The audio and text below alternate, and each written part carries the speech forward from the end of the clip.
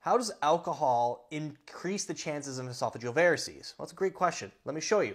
Now, when it comes to alcohol, alcohol is going to have a heavy impact on the liver.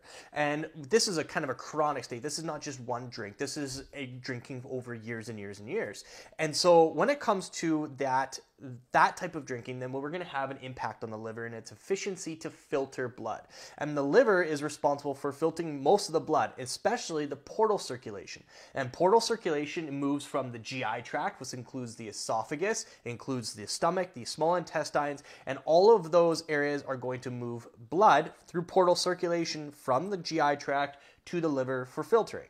And when we have a decrease in efficiency in the liver because of alcohol, then we're going to have a decrease of flow in that portal circulation, causing hypertension in those areas.